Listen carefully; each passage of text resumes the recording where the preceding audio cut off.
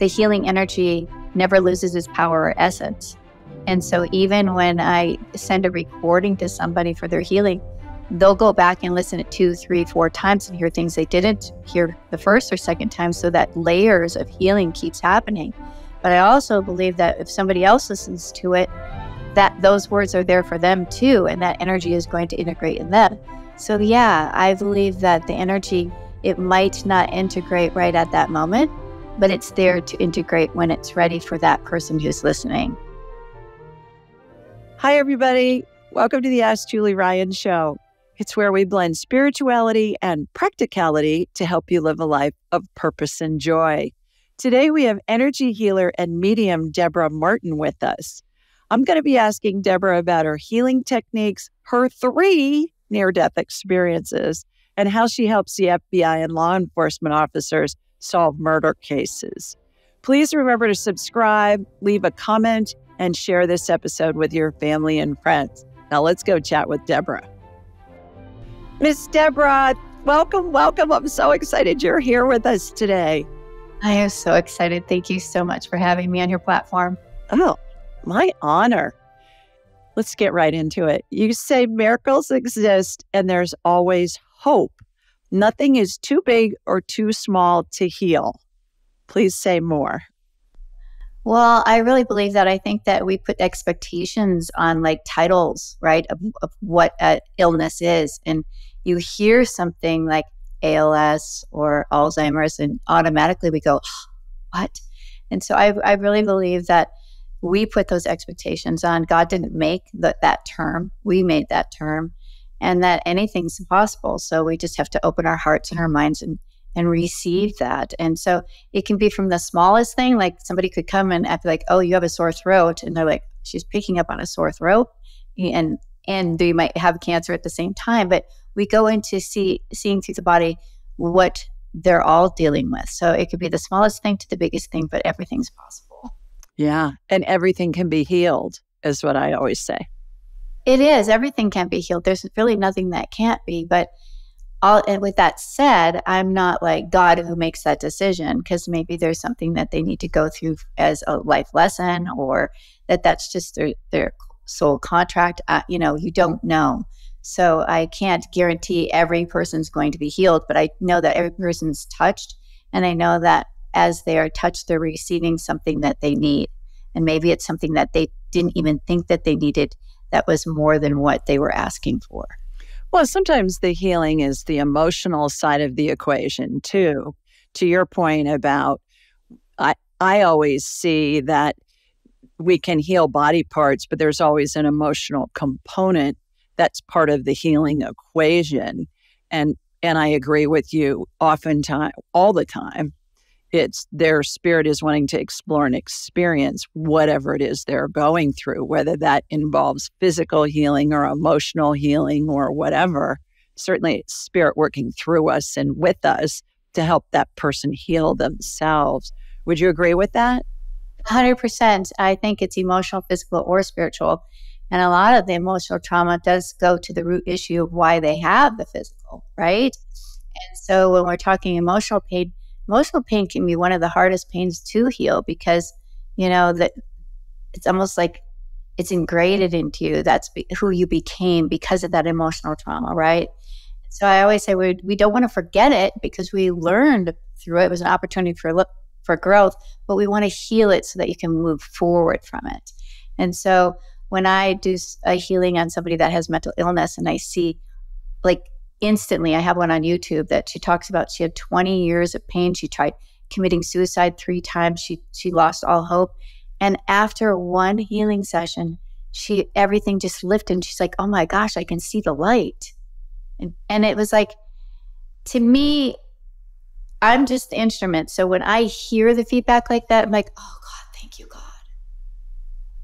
Right? And, and that's just that's the beauty of it it's just stepping aside my humanness and allowing the being the instrument and allowing that frequency and healing energy to go through me. And what's beautiful is i'm shown things i don't know anything most times i don't know anything what the person is dealing with but i'm told. And so that makes it really profound because then when they listen to their recording, because they're in their own sacred space as it's taking place, when they listen to it, they're like, how did she know? Right? But spirit, God, source, whatever you want to title it, knows everything about us. Yeah. Interesting. Well, it's interesting too how people, I would imagine, come to you, they do to me, especially on the healing side of the equation, when they've seen multiple doctors, gotten multiple diagnoses, and perhaps multiple treatment plans, and they still have the same symptoms. And so that leads them to look outside of the traditional medical box, which there's always application for. If I'm in a car accident and I'm bleeding out, you better take me to the closest trauma center don't chant over me. You know, I mean, like stitch up my artery that's been. hundred percent. I think we have to use every tool in our toolbox. That's right? right. It's part of the healing equation, and and it's interesting too how I believe, and I'd love to hear your take on this, that nobody heals anybody else, not even the doctors. You know, you have surgery and at the end of the procedure, they're stitching up the incision with sutures and staples. Well, they don't make that surgeon doesn't make your skin grow back. You make your own skin grow back. Then that's the same thing with this. That's be- beautifully said. I like that. You know, it's the same with healing, um, like your bone, like you have a broken bone, and you you're taking the time to heal it. You're taking the time time to nurture it, and it's it's really hard when people have cancer because you're you're healing your cancer within, but you don't get to see it heal like a bone would start to heal, right? And so that comes into a whole nother play of trusting, just trusting what you're feeling and guiding. And sometimes, you know, the cancer doesn't heal. You know, I've seen that too. And they receive on a whole different level where then they're able to embrace where they're at. And they know that all is well and will be well no matter what. And so I think that frees you. It frees you from the pain, it frees you from the worry, it frees you from the stress. So that's a whole nother level. I agree. And I say everything can be healed, and sometimes the healing is death.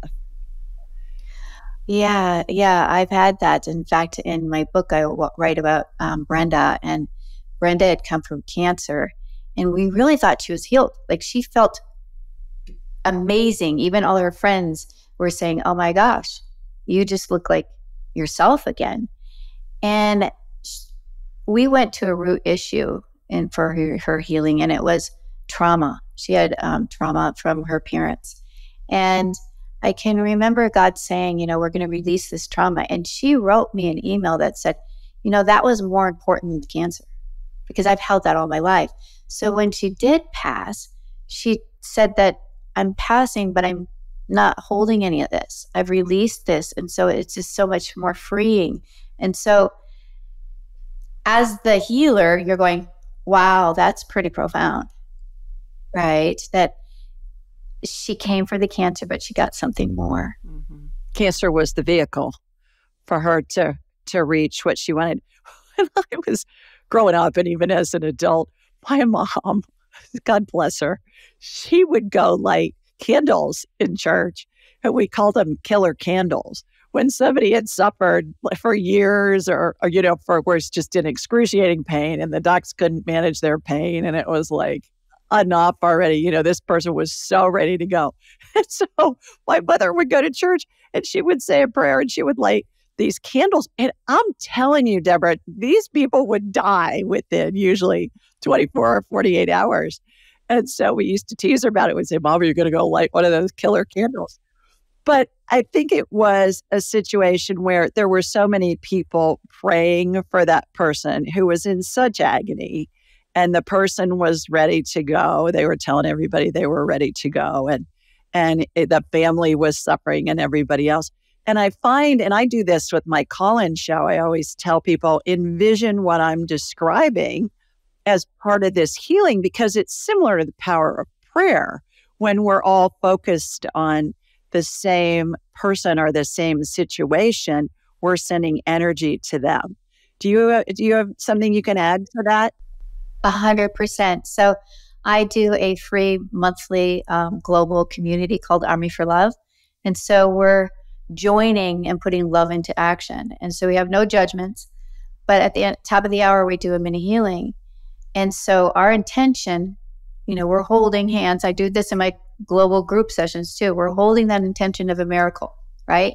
So I believe when one receives, we all receive, but that energy heightens. And now we have that same intention. And that intention, you know, becomes really profound. And I think people own it more that way too, because it's like, well, I'm not deserving, that person's deserving. But if they're collectively together, they let go and go, okay, well, let's see what happens. Well, and I think too, to your point about people who aren't don't feel deserving, oftentimes, and I've had many, many emails over the years of people saying, I was listening to one of the episodes of your show and you were doing a healing on somebody with whatever the symptom was. And this was three years after the episode had aired. And they said, and I got a healing for the same symptoms that your caller had. And it was three years after you'd done that healing. And so I say, well, time doesn't exist in the spirit world. And I would imagine that you've run into that many times as well. Can you give us an example of that? Yes, I can, because I believe that the healing energy never loses its power or essence. And so even when I send a recording to somebody for their healing, they'll go back and listen it two, three, four times and hear things they didn't hear the first or second time so that layers of healing keeps happening. But I also believe that if somebody else listens to it, that those words are there for them too, and that energy is going to integrate in them.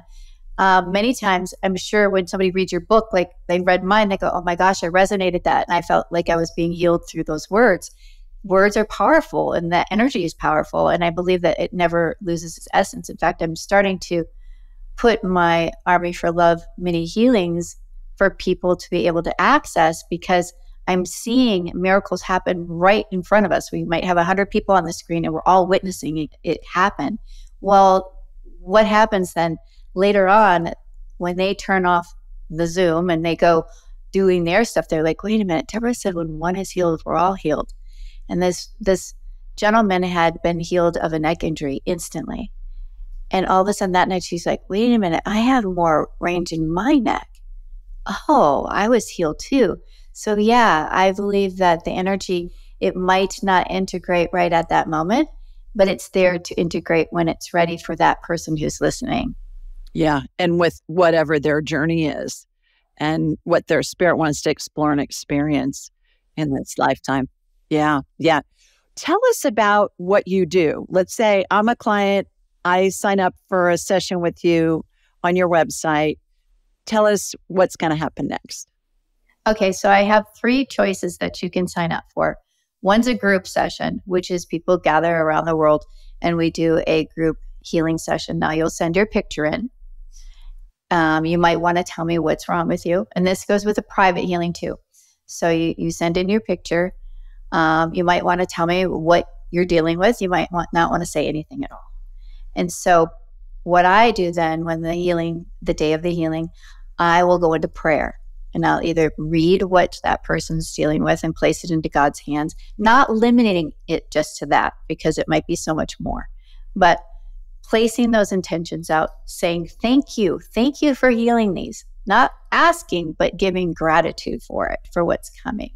And then, um, then they're in their sacred space, right? They they might be sleeping because it's a different time zone. They might be working. They might decide to take a walk. They might be able to rest and say, well, I want to try to receive and, and feel what she's feeling at the same time. Now, I'm this isn't live. It has to be totally sacred time for me. So then I go on a healing table. And if it's a private session, I place that picture on my abdomen so I become their proxy. If it's a group session, we're all guided and the pictures are all around me. And so then what I do is I tap into a frequency and healing energy that I call God. And I see that as a, a beam of light, right? And I believe that God is love. So love heals. And so I always go to the solar plexus and I say, okay, this is where it, the light's going to go in. Things will come out through that beam of light and go up to the universe, but it will also come through different parts of the body. So now that I'm tapped in, I might start seeing spiritual surgeons show up. Now, people go, Well, I don't want just a spiritual surgeon to show up. I want just God to do that. Well, God uses the spiritual surgeons, works through those spiritual surgeons so that I can see exactly what's being done. And I will feel it. There's no denying it. I will feel, I can see them cutting. I can feel the pain. I can go, oh, somebody has something in their knee. Oh, somebody's dealing with heart trauma. It, there's so much going on at one time that it's like, I couldn't talk. Like it comes through me there's never a breath or a break, you know, like how you, you pause to think. No, it just keeps going, going, going. So then um, when the session's complete, then I send that recording to you wherever you live, and then you can sit when you're ready to receive and listen to it. So that becomes yours, your healing, and you can listen to as many as you t- many times as you wish. Now there's an add-on that they can do because I use my mediumship abilities. An add on would be in a private session, they'd say, Well, I want a reading too. I want to connect with a loved one. So that morning, I will start connecting. I ask the relationship of who they want to because I want to have a direct connect. I don't want to be like, well, I'm going to bring all these other people. They go, well, I really didn't want to talk to that person. So let's just get right to it. So then I'm like, okay. So then I get all the information. So then I go into the healing room. I do my prayers. And then the beginning of the session, I'm going to give them all the messages. But now I'm going to also welcome that loved one into the healing session. And what's so beautiful about this is I might see them. And when they're in their sacred space or whether they when they listen to it, they see them too. Um, some people have said they saw the nurse with the, the garment on. Some people say they felt their loved one hold their hand. And messages will still come through. But when I'm dealing with a loved one, we we get to go to a sacred space that the loved one um, chooses and and prepares for them. So whether it's another dimension or it's it, it, they see the landscape, they describe the landscape, they have an embrace, they might smell them, they get to speak with them, they hear more messages from them, and it becomes really healing. And um, it's it sounds like it's so far beyond, and it kind of is, but it yet it's so like every at at the end of every session i'm like wow. It's like watching a movie. You're like wow. Can you imagine what just took place? That was awesome. And then then madison who works for me she's like well tell me about it. I'm like it's like whoop it's almost all all gone right? Because it came through me. And so i can just remember little bullet points. But they truly are miraculous and each and every one of them touches my heart. So yeah, they're they're profound. They're they're beautiful. They're heartfelt, and and I just come from um, my heart with each and every person because you know what? I just you can feel them. You can get to connect with them on a soul to soul level. I think we're sisters from a different mister. I think so because you keep going. yeah, yeah, yeah. Okay, so here's here's my stuff. First of all, there's always surgeon spirits in the room when somebody's in the OR. Guardian angels over the head of anesthesia. I'm an inventor of surgical devices, so I spent a lot of time in the operating room in my 30 year career. So not only did I scan them when I was in the OR, you know, developing a new product or testing a prototype, but I see it remotely now. That's number one. There's always surgeon spirits over the head of the actual surgeons that are performing that procedure.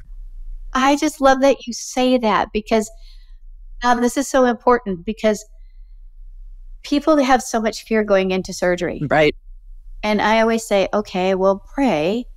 And the spiritual surgeons will work through your physical surgeons. Right. They're all there. You'll be surrounded in white light. And with you saying that you work there, and that's what I say, I think this would be great for viewers to hear just going, just take a deep breath and know that's your that's your god time. That's your time just to let go and let them all work on right you. right. And trust that the surgeons that are the physical surgeons you know they're going to do their thing.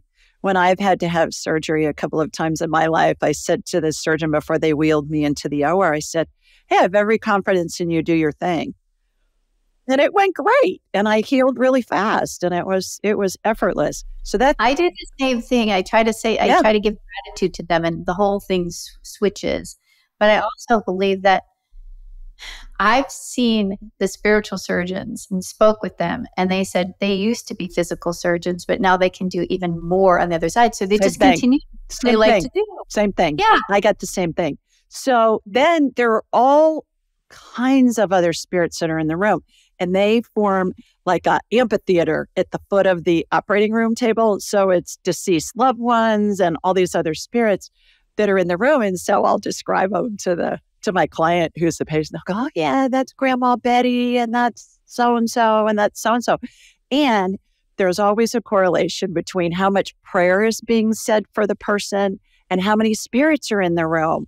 So I always tell my clients if they're having surgery or, or you know, a friend or family member, I always say, get on every prayer chain list. Doesn't matter what the denomination is, don't matter. You just get on every list that you can. When somebody who's dear to me is having surgery, I was on the board at this mother house of nuns that educated my son. And they're in I think 68 schools they run. They're on all the continents. You know, I mean, they're all over the world. and I'll call up there and I'll talk to Sister Mary, whoever, and I'll say, Hi, sister, can I please put an intention on the big board? And they know I know what I'm talking about because I've done it. And the big board is prayers go out to all of their schools, all of where those sisters are. So you not only have all those sisters praying, you got all those kids in all those schools around the world praying too. And like um, bring them on, right? Like bring, bring them on. You know, I mean, get the Swahilis praying for you, get the Jews praying for you, get the Lutherans praying for you. It doesn't matter. Just get on. I, I really believe like at the end of all my sessions, like when I'm doing them live on Army for Love, I always say, put your hands out now and let's give back to the world. Right. Because if, if we're all that same intention, it will be felt by somebody. Yeah. Right. And that's yeah. what you're doing is let's just spread it. Exactly. The other thing is when I have a healing done on me by my mentor, who's now in her 80s, I, when I used to be with her in person, and now we just do it via Zoom since COVID, and I see the same thing. I'm laying down on a massage table, and all my deceased loved ones' spirits are there with a couple of other spirit guides, usually and oftentimes religious figures are in the room as well. And even my late dog is in the room and she, she's on her hind legs and she's got her little paws up on the table. So it's all spirit, God working through all these different entities, which are all a fractal of the divine. So as I see it, is it's spirit working through all of them and they show up in different ways for us so that it can help us understand it from a human perspective. Do you 100%. Okay. 100%. And I I also do healings on animals. And so our language becomes universal. Yeah. So I start to hear them and they're like I can remember um, if you know Suzanne Wilson. Yeah. She's in, I've had her she, on the show. And she had Baron and Baron had a healing session and Baron told me he wanted lavender. And I go, I don't use oils. He's like, I want lavender. It's going to make me calm. I'm like, okay, let me search for some lavender oil. So I did. And so I mentioned that in the recording, like, okay, this is what we had to do. I had to start off. Well, she almost fell off her chair because she says that's what she puts on his head every night before he goes to sleep. Oh, wow. So I had to test it. I tested on my dog. Like, do all dogs like lavender? Like, could this be like something that everybody was like, oh, well, everybody likes that. Oh, no, I got that out from my dog. My dog's like, get it away, get it away. I don't want anything to do with it. So it's it's amazing how, like you say, they work through. They have a voice, and they it becomes universal. Like when we're on the other side, when I had my NDEs, I wasn't talking like I'm talking to you. I'm right. talking to my mind. Right. And that's the same. And I, I really think with our animals, whether it's a horse, a cat, whatever it is, we are t- talking to them. We know what they need. They they get that signal to us, so we're already talking that way. Yeah. I want to talk about your three NDEs, but first, I have pages of questions for you, girlfriend. so first, I want to hear about did you come in seeing dead people as a child? Did you learn how to do this stuff? What was your path? And did you come from a spiritual family? I did not come from a spiritual family. In fact, I kind of went to all different churches, and my mother was Protestant, my dad was Catholic, but all my friends were different religions. So I would kind of go with them on Sundays, and that that was kind of neat because I was seeing how each one was connecting. Right. Um, at the age of four, I started seeing spirit, And I always think that, you know, when they're around that age, children four and under before they go to school, because once they go to school, that brain changes, right? And so I started seeing them at night. They would come to me at night. And I used to be really, really scared and say, I don't want to hear, you know, I don't want, I don't want to deal with you. I don't know you. What, and I would take my, like my head this way and I would just scratch, like his name's Steve. I'll start with an S, you know, and just take my mind off of it. And I didn't know that you could say, you need to leave me right, right now. Right. So years later, it wasn't until I was on another interview that somebody asked me the same question. And, you know, it, it really made me look back and go, well, they were there to protect me. They were there to not to hurt me, not to scare me, but to give me this awareness. But I did turn it off. I turned it off because of fear. And I tried to talk like, can I come downstairs, mom? I'm scared. Nope, just go to bed. It wasn't something that, that it was talked about back then. We didn't talk about mediums and spirit. So you didn't want to be the odd one out talking about that and looked weird. So I, I closed off for many years. Yeah. Well, I wrote a children's book series of four books because I had so many moms and grandmothers say to me, uh, Can you explain? You know, can you help me explain how my child knows information there's no way they would know because they can't read yet? And how do how does my child know information about past lives? And we corroborate the information with online historical, you know, documents and things. And and what do we say to a small child when somebody dies? And we say, well, grandma's in heaven. And they say, no, no, she's not. She's laying in that box up there in the front of the room.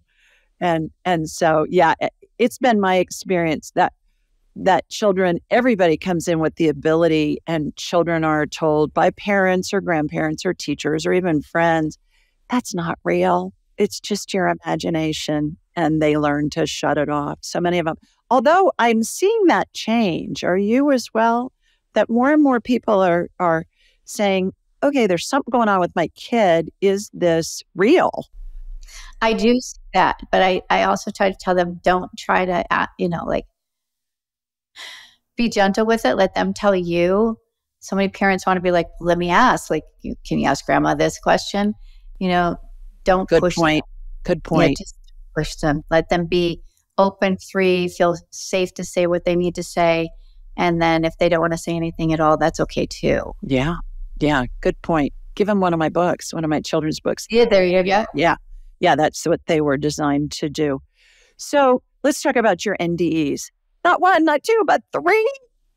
What yes. what what tell us about the individual ones and also I'd love to know is there some kind of a recurring theme that goes through all of them that threads them all together?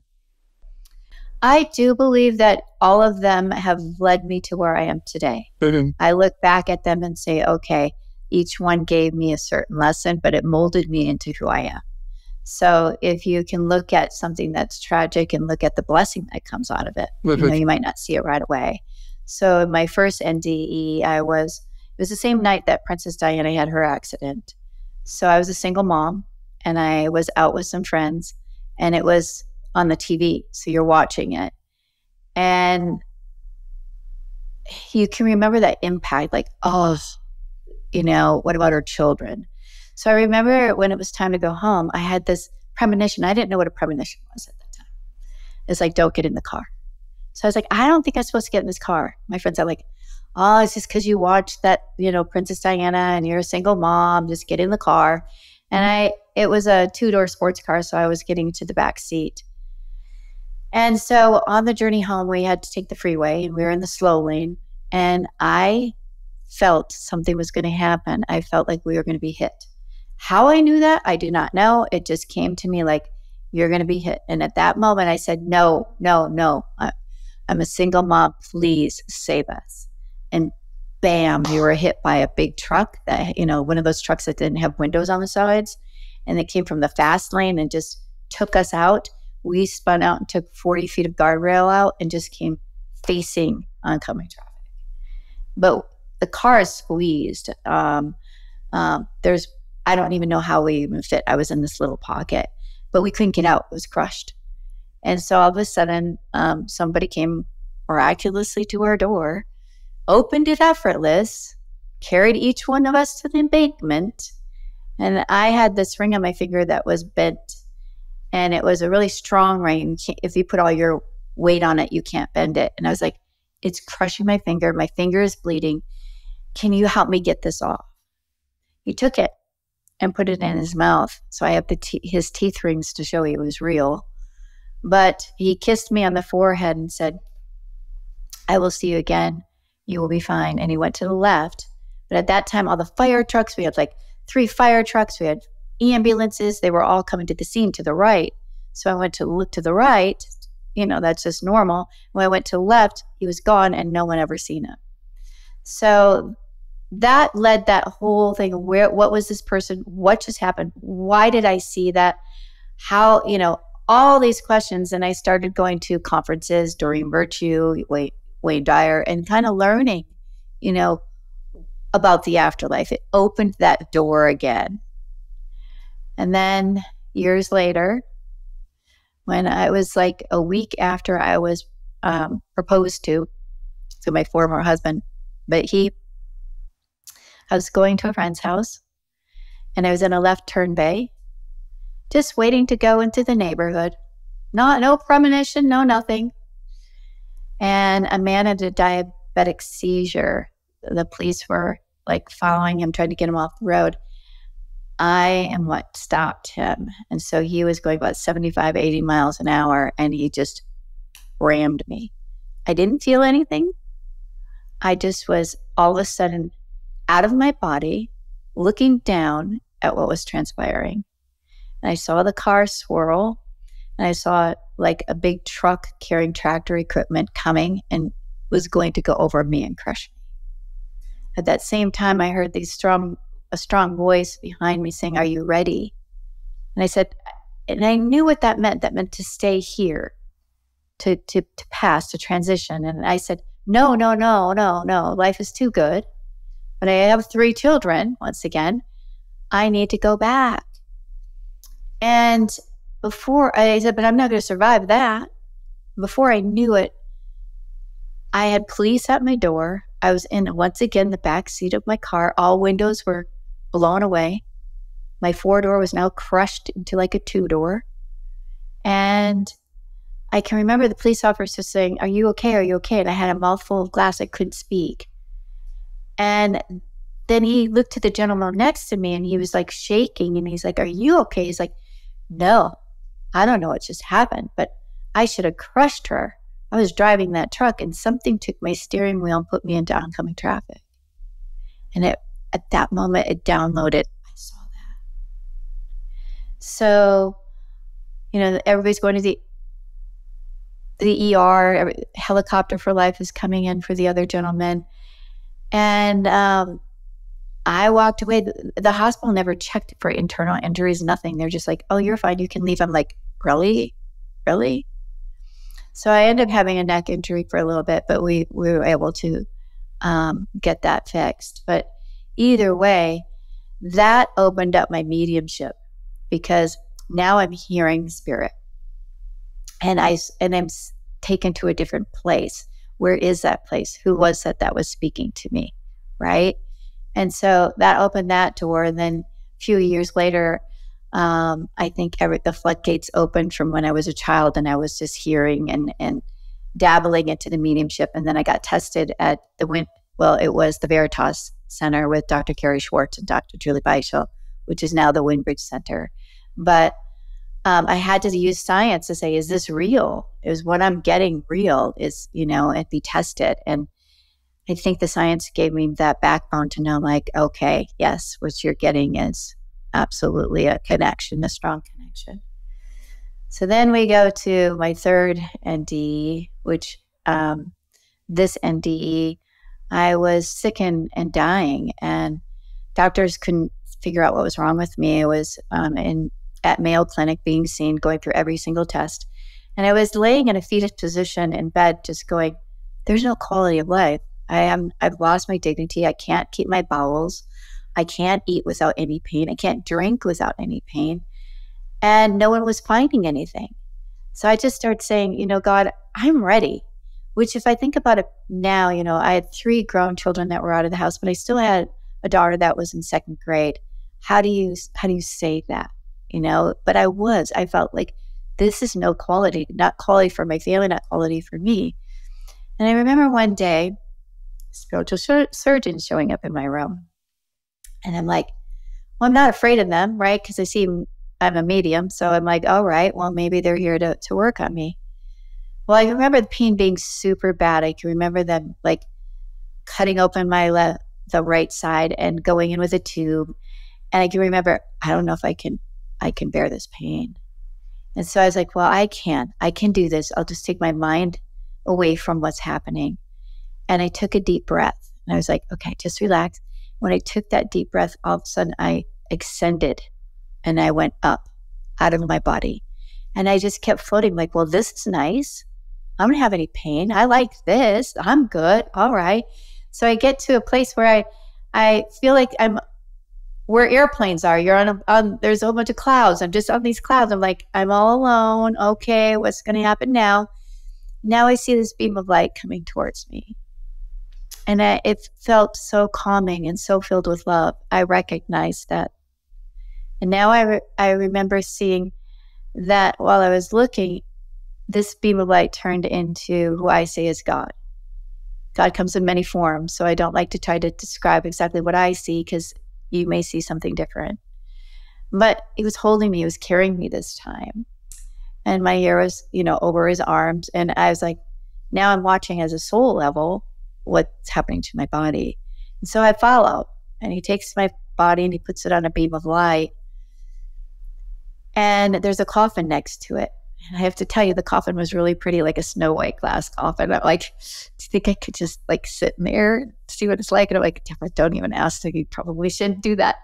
So I wasn't even put two and two together. Like, you're going to have a choice here.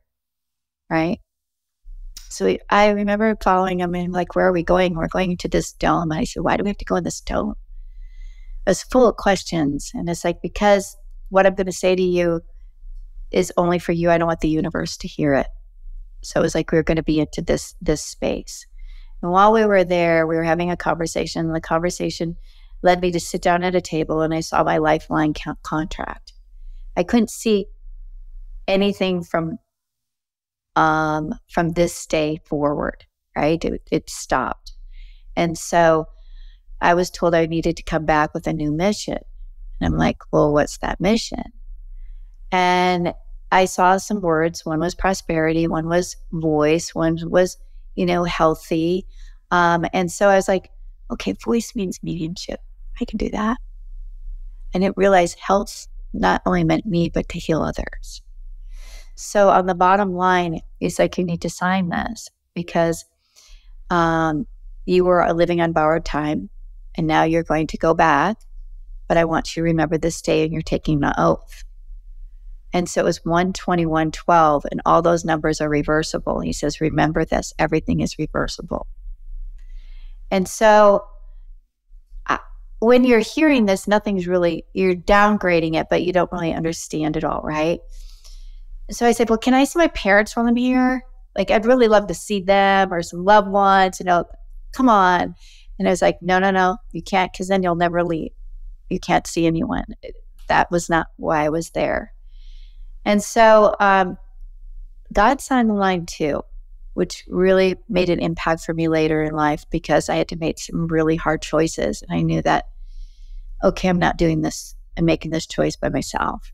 And so when I came back, I can remember coming back in my body and I can remember almost like, you know, when you do and you inflate like a mattress, you see the air going in.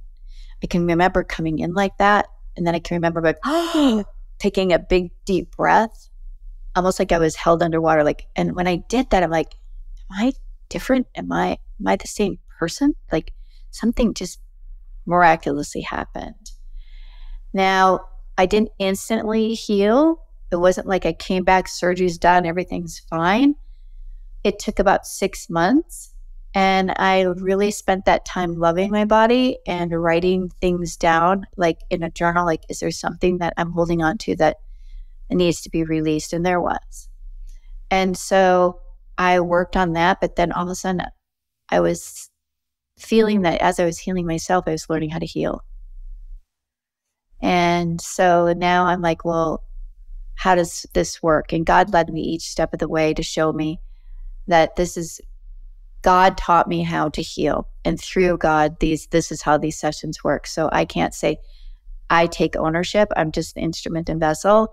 But um, when I presented this to my former husband, he said, "This is too big for me. I can't. I can't do the walk with you." And we were we were inseparable. We had a great marriage, great family.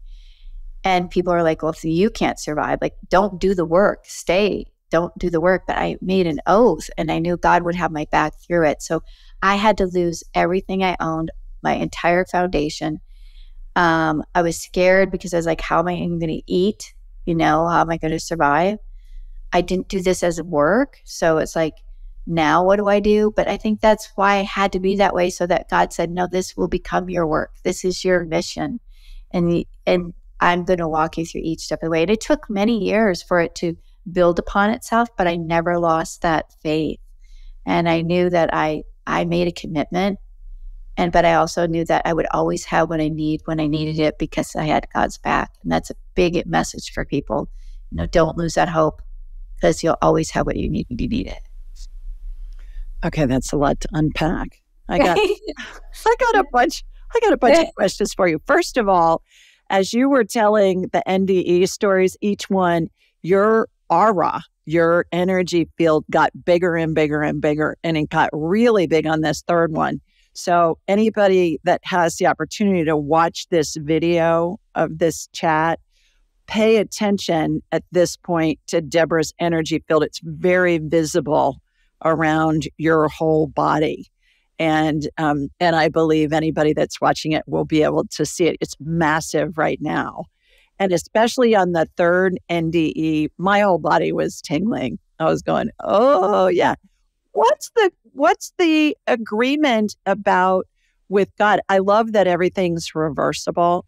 But I've never heard anybody say that they, especially in an NDE, where they were asked to sign an agreement and take an oath. What do you think that's all about? What have you what have you come up with in the years since that happened? I think it was just to say, you know, I'm going to stand in this if I'm going to be a healer and do God's work, that I'm going to stand, put myself 100% in. I can't be half in, half out. And so I think that's where the oath comes in.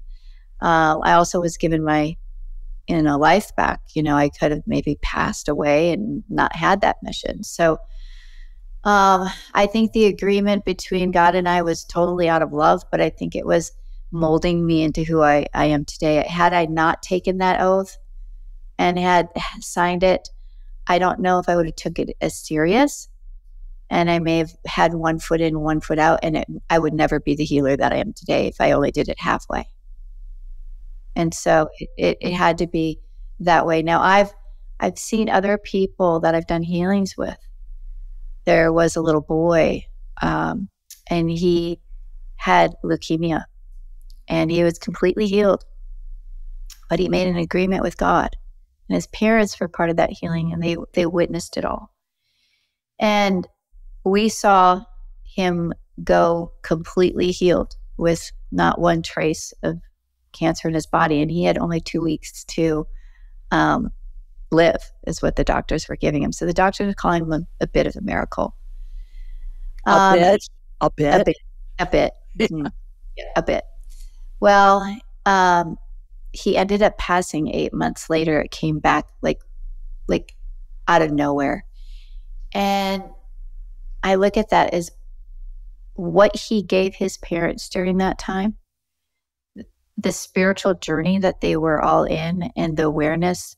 He he did this for his family so that they would be able to cope the love that he has and he loved life but he was so smart he was a healer himself i believe that he was a master himself because he could heal at age seven and he would say things like if he would go in for a biopsy, he's like, Well, saw grandma. And we're like, dad would say, Did you go to heaven? He's like, No, I went to another dimension. It wasn't heaven. And I'm like, Okay, this kid's smart. And so it was wonderful connecting with them. And now I connect with them on the other side, but it wasn't what we hoped for, right? We thought this is forever. But the amount of time that he did get to stay, he he kept saying, I'm still a miracle, right? I'm still a miracle. And we're like, You are a miracle. You you you received the miracle and you are a miracle. So um, but it's never how we think it. Well, and it's been my experience, and I've heard this probably tens of thousands of times from spirit, and I'm eager to hear if you have as well, that that there's no right or wrong, there's no good or bad in the spirit world. It's just an experience. And from our human perspective, we look at that and go, why in the name of God would anybody choose to have a child that's sick and dying and eventually passes? And yet, in heaven, what I've been told is they're saying, oh, this is interesting. What are they going to create out of that? How's that going to unfold? It's not that it's already scripted, it's that the basic premise is there. And then our free will helps us navigate how it unfolds. I'd love to hear your take on all of that. I feel 100% what you're saying. And it is our humanness. We're here having a human experience. So when they go to the other side, they're not feeling the same feelings we are feeling. So some people be like, well, if I'm grieving all the time, are they sad? No, no. They don't have those human feelings like that. They're they're there to protect you and love you and have those feelings though. So many people say, Don't don't cry, don't, you know, your children don't want you to. No, no, no. That's part of your healing. Emotions are real. We have to feel to heal. Um, but when we do go to the other side, it's so much different and we see the grand picture. And I really believe when we did that healing for him, he saw the grand picture and he knew it. His soul level knew it. And he became all of our teachers during his eight months. Do you think that he experienced the healing and then had that eight months and he was kind of like, okay, been there, done that, ready to go? kind of a thing. You had that thought? I don't know because I mean, that would be hard to say because the parents would be like, he's ready to go. He loved his family. He loved to be here on earth.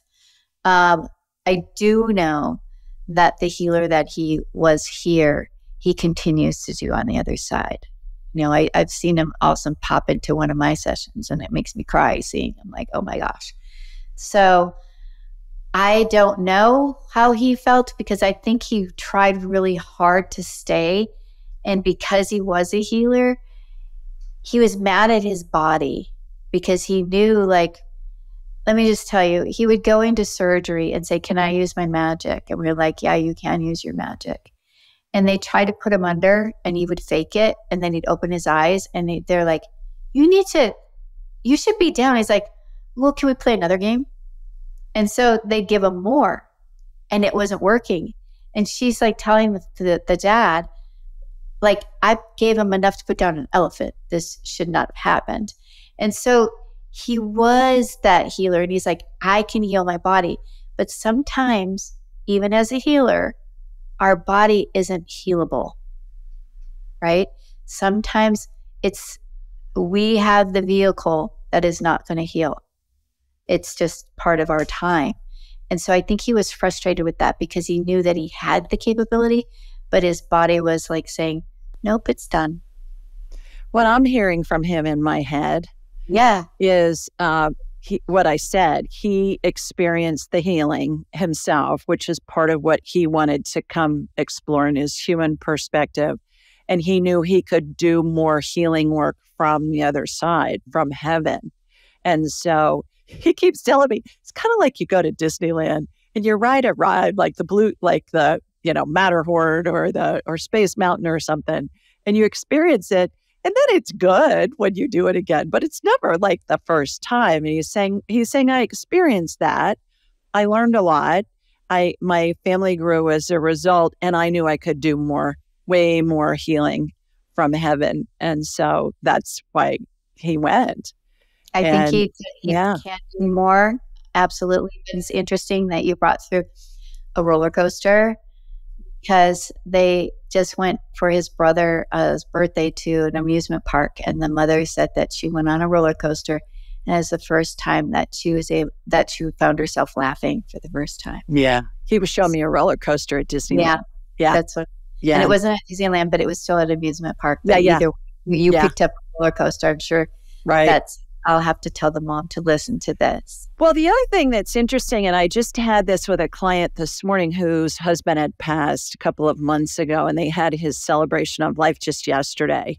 And her 26 year old son was on the call with us, and we we were talking with their dad and husband in heaven. Who he was a character, Debra. I mean, this guy was hilarious, and of course, they were deep in grief and so sad. And the first thing out of this guy's mouth, out of his spirit's mouth, was ask him about the turtle. so, okay.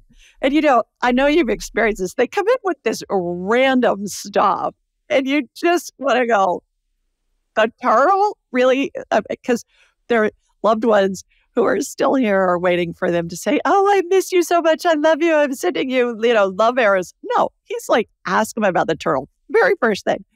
So I said to them, he wants me to ask you about the turtle. Does a turtle mean anything to you? And they both started laughing. They cracked up.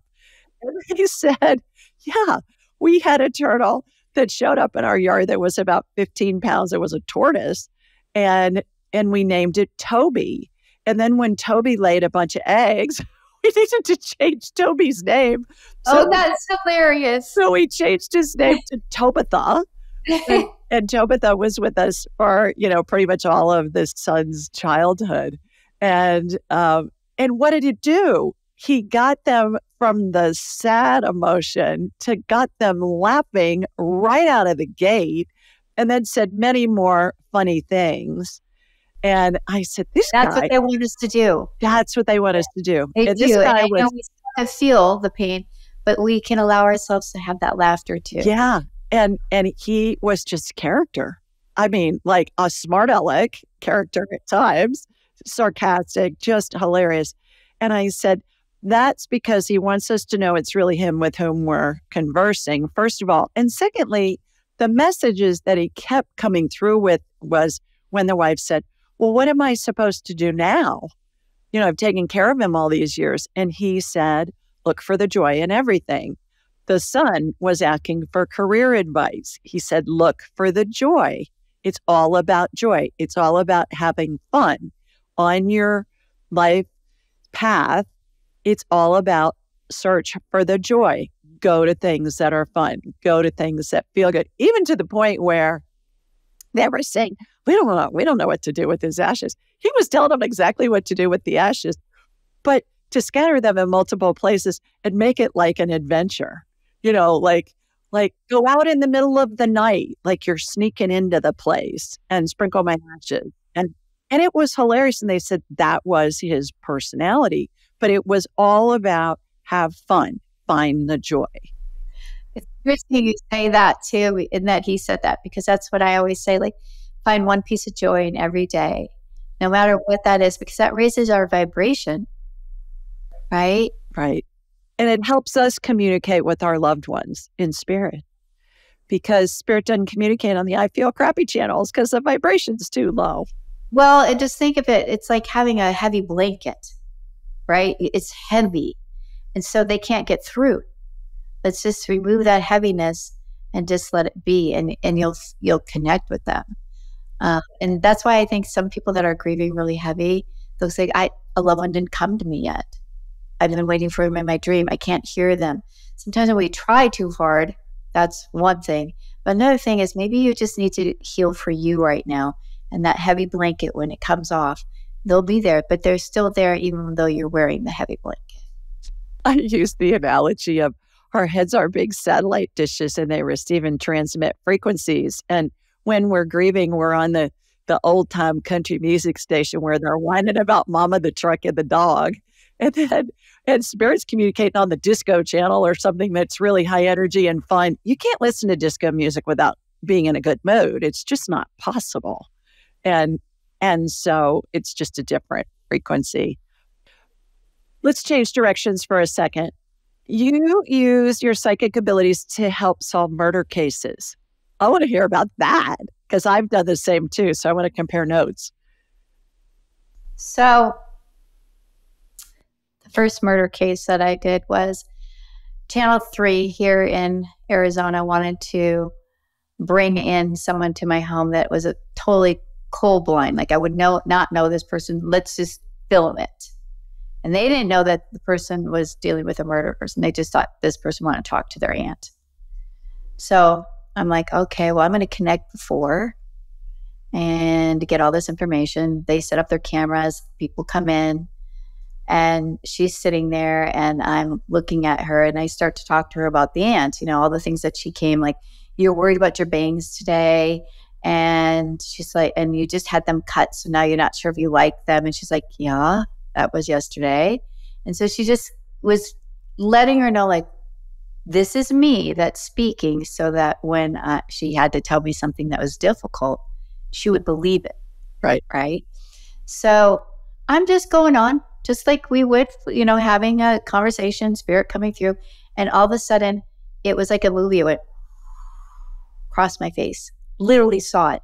And I went, shoot, shoot. I gasped it, gasped like, oh my God, how do I tell this to her? So I was basically saying, I need to tell you something, but I'm going to try to do it with as much grace as I can but I want you to know that she's fine. You heard from her. She's fine right now. Okay. But your aunt's telling me that she was murdered. And the lady looked at me and she's like, I had kind of a nudge thinking she might. And I've, I went to like something with the heart and something with the stomach. And she's like, well, they told us that she had a heart attack and stomach cancer. And she's like, Mm-mm-mm. so now she showed me how, why they killed her. She showed me the two people in descriptions. She said there was a picture of, like, she knew this man and that he's wearing a blue shirt in one of the pictures with him, and that she gave a name and she gave a description of how tall he was and the whole bit. Well, at that very same time, all of a sudden, I these these people were from Peru, right? So more darker skin. I see a Caucasian man pop through, and I know he's not for them. And I go, "There's somebody here." And I looked at the camera guy. I go, "Scott, there's somebody here for you." Their phones went off. Boom. Two helicopters have crashed. They were our helicopters. They had crashed, and that was one of the guys in the helicopter. Boom. So when he went back to the station, to the very moment that I saw him was the very moment that that impact happened. So now they pack up. now that's traumatic, and we say goodbye, let it go. And you know how that is. You just kind of like give the information. You have no idea what's going to come out of it. it was six months later, I was actually taping for Disney. Disney was going to do a whole spiritual channel. So they were at my house, and I get a call and um, her name's Marita. She calls, she goes, Debra, Debra, Debra, do you remember me? I'm like, how could I forget? And she goes, I was walking down the, the street and we found Marcos. We found him. And he um, admitted to the crime. He's going to serve 30 years in prison. So then they say, you know, years later, will you come? We're going to make a movie out of it here. I go, no, no, no, no, no. I'm not coming to Peru because that there was a mafia that was involved in this. And I'm like, I want nothing to do with that. So it was out of my control what was coming through. It wasn't like I was just going to sit down and go, let me solve a, a mystery. It just came to me. And so they did exhume the body. And she said that she would would give the gift of to the aunt that she would be play her part in this whole investigation. When they pulled the body up, the coroner was like, this body could not have been buried for three months. All the organs were intact and the blood was still good. And they were able to see that she did not have stomach cancer and that she did not die of a heart attack, that she died of asphyxiation, like I said, said. So it was pretty, uh, pretty profound. And it kind of took me by surprise. And so I, I, I've helped other situations that I've done healings with. I, I did one in Australia, and it was a, clo- a closed case. So I went to an FBI agent here in, in the United States and had him come to come to my house, and he took down all the notes, and he took it to his superiors, and they were able to bring that case back open in Australia.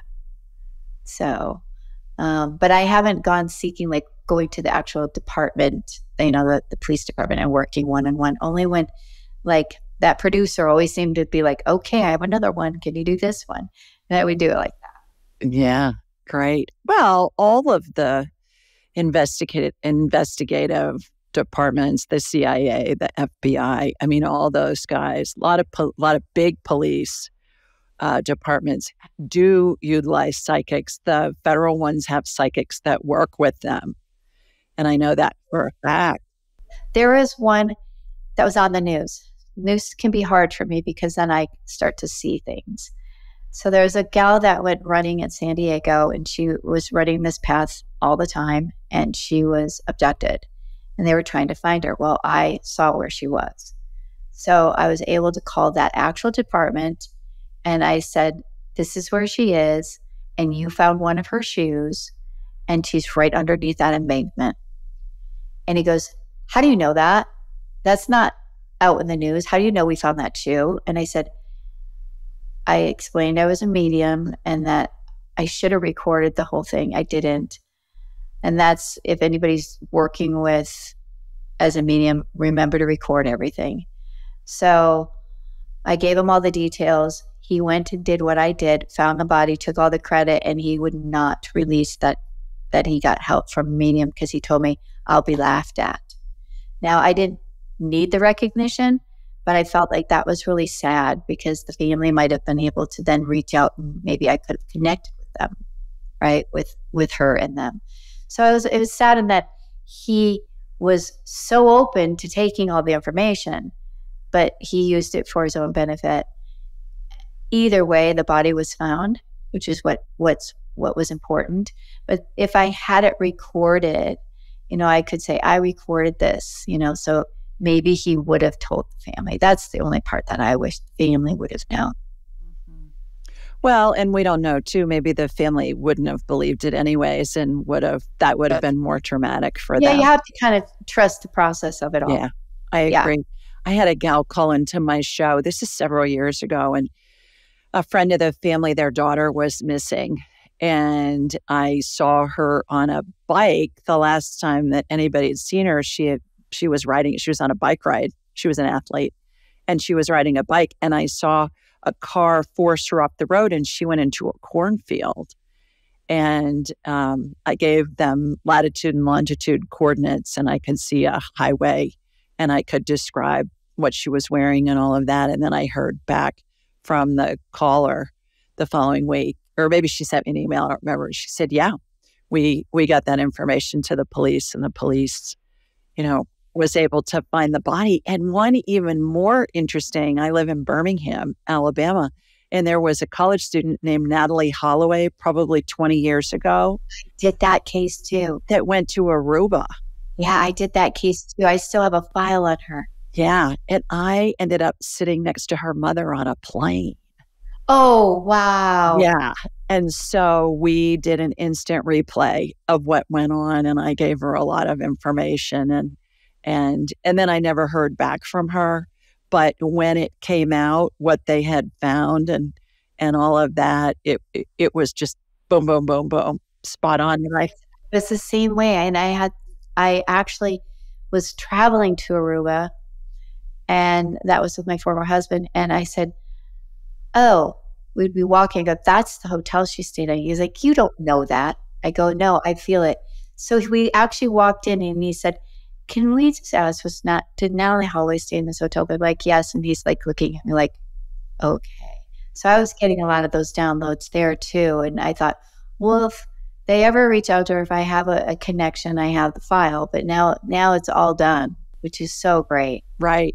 Well, and I th- and the mom had told me I don't remember her first name, and I didn't hear from her afterwards, but she told me that she had had several psychics and mediums who had reached out to her and were giving her little bits and pieces. And she said she had a psychic file. I was kind of like, here's what I've gotten from this person. Here's what I've gotten from that person. Well, you do anything, right? Anything Yeah. that you can. And that, that was so traumatic.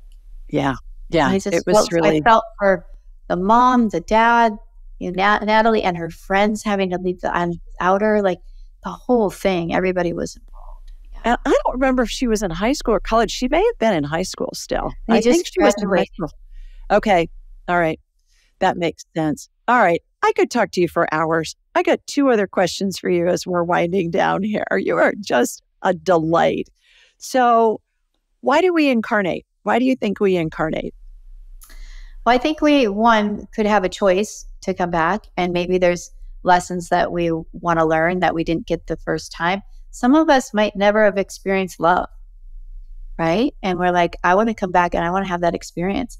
I've had a child that came and felt the love right from the womb and said, Okay, I felt it. I'm checking out. And the mom's like, you know, that gave her peace of knowing, like, okay, now I understand that this child, that's all they needed. Um, I also feel that maybe after we incarnate so many times, um, we've we've learned everything, and then we say, "I don't want to go back anymore," you know. But I think that we're here. It's an opportunity for growth and learning, and so many people out there just are like, "I just want to live in this space. I don't want to know anything about. I don't want to learn. I don't want to have any spiritual guidance." And I can't imagine not being connected in this world. I can't because it seems it gives me the guidance, it gives me hope, it gives me um, love, it's support. And if you take all of that away, you're doing it all on your own. And then, you know, that's where hopeless comes. That's where, you know, I don't know how to, I get stuck. Um, and so, yeah, I believe that the coming back is for an opportunity of growth and maybe they didn't want to open up the first time and like i did that wrong i want to come back and now feel it from both sides Yeah. Different set of variables. Sometimes repeating a similar script is is been my experience too, where they're looking at things from different sides. okay so that, that's a question for here. So some people get upset when they're like okay so someone that may have shot someone they get to go to the other side right? Um so then when they come back are they the person that gets shot Not necessarily. They may be. They. It's been my experience. They may be. They may be the police officer involved. They may be a doctor involved. They may be the daughter of, the son of, the grandmother of, the whatever. There are a bazillion different roles they can but play. that it plays out and shows again. Yeah, I feel that too. I do. So some people are like, well, you know, they need to, I don't know, get their hands slapped. And maybe it's no, they just need to come and learn the lesson. Well, they're looking at it from a different perspective. And I use the analogy for multiple lifetimes and and we all live kabillions of lifetimes, has been my experience. But I like to use Hamlet as an as an analogy because you think about how many times has Hamlet been performed since Shakespeare wrote it in 1602. Who knows? Same script, but different language, different time. What was happening in the world? Who were the actors? Who was the set designer? Who was the costumer? Who was the producer and the director and all of that? And so it's the same basic script, basic premise, different perspective. And I believe that's what we do in our lifetimes. And who knows whether or not I believe that it's certainly feasible that we incarnate on Earth, and then who knows whether we incarnate on gal- in galaxies far, far away. I think I think that's certainly feasible, and I've seen it when I've been working with different clients, and I think that looks like a Star Wars set, or that that looks like something I've seen in the movie, and then I think, okay, well, yeah, George Lucas was channeling all that stuff. yeah, and and speaking of Disney, Disney has a whole Star Wars section now. And when I was there a few years ago, I was thinking, okay, I've seen this before in my mind's eye in working with clients. There's just so much, right? There's this like there's this so much more than what we can humanly understand. And that comes with healing, that comes with what's going on in in our world, the outside world, the afterlife, everything. And so it's fascinating. And I just say be open to everything and all. I agree. And I love getting to talk to people like you because I, we're all saying the same thing. We're all having similar experiences. And this is the first time I've ever met you or talked to you. And so there's no way we could be making this up. And and to your point earlier, how the information comes in really fast when you're getting the I call them divine downloads. Same with me. I, I'm like motor mouth. I'm going, okay, here's the yeah. healing. Here's what's happening. yeah. And it's and and I, I just think we we're not that creative. You know, we we can't make all this stuff up and talk so fast about it because the the cadence of your speech, I would imagine, and certainly my speech is faster. It's sped up because the information's coming in so fast. You got to get it out. That's how it is in the healings too. And yeah. I always say those same words. You just can't make this stuff I up. Know. I know. Absolutely. How can people learn more about you and your work? They can go to my website at goldenmiracles.com and they can, you know, see anything on my social media like YouTube. I have a lot of testimonial videos where like we said, if they're listening to it, they could tap into that energy as well. Um, and then um, Instagram and Facebook as well. I'd love them to follow me because I'm always trying to put inspiration and hope out to the world.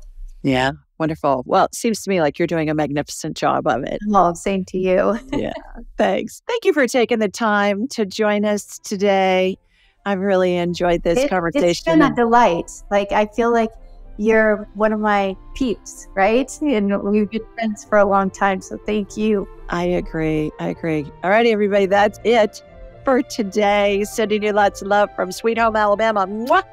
And from Arizona, too, where Miss Debra is. We'll see you next time.